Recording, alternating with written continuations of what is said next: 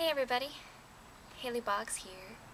So, my Bane, my Maine Coon, wanted to come and be a part of the video. So he's gonna hang out here till he chooses not to or whatever. So be prepared, he's probably gonna leap off at some unknown moment, knowing him. So, the topic of the day in the second part of this little video series is you are not what you sell. Your business is not what you sell. So, Kristen Darkenwald has made a video similar to this. I have my own spin to things though too.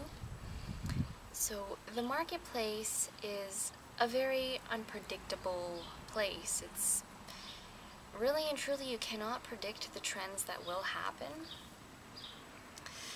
And there are a lot of books out there about freakonomics and just how unpredictable the whole situation is. And having said that, we don't know what the market has in store for our MLM, for our particular business.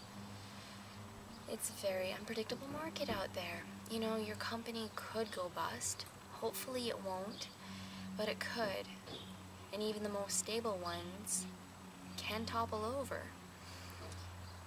So, reason why I'm saying this is when you ally your name to a particular company and that company for whatever reason goes bust and you're jumping from MLM company to MLM company because that one didn't work out, this one didn't work out.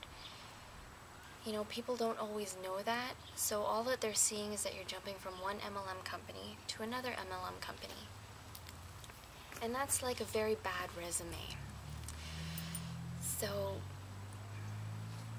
you know, there's a lot of mentors who talk about personal branding and how important personal branding is. And this is one of those reasons too. Because your business is you and about what you as a person have to offer a person, not just your MLM opportunity. Yes, the MLM opportunity is great, though for a lot of different reasons a person could be not attracted to that. Like, if a person already has an MLM company, they're not going to need another one. If a person doesn't really like the particular opportunity that you have, they might not join you because they see that you're allied with this company and they don't want to be a part of that. But you as a person may have something that they would love that you could offer them as a leader and as my brain is going to trip me up with his leash. So, you're the business of you. And there are many things that you as a person could offer them. honestly, the best way to go about it is to have many different streams of income that tie into teaching people how to build a bigger business, how, how to build a better business and be in the business of them. It's best if you're as broad-based as possible to offer generic marketing training that every that could that could apply to everyone and not just any particular opportunity. You know, mastermind communities are a great idea. And having all these different streams, it's like you're the storefront for home and small business and you have things to offer this person, you have things to offer that person in health, you have this to offer that person in Nu Skin, you have this to offer the person who's just starting out and just needs some knowledge on how to pick the right MLM company for themselves. All different kinds of things. This leaves things a lot more open for you when you become the storefront of many different things and not a single MLM company.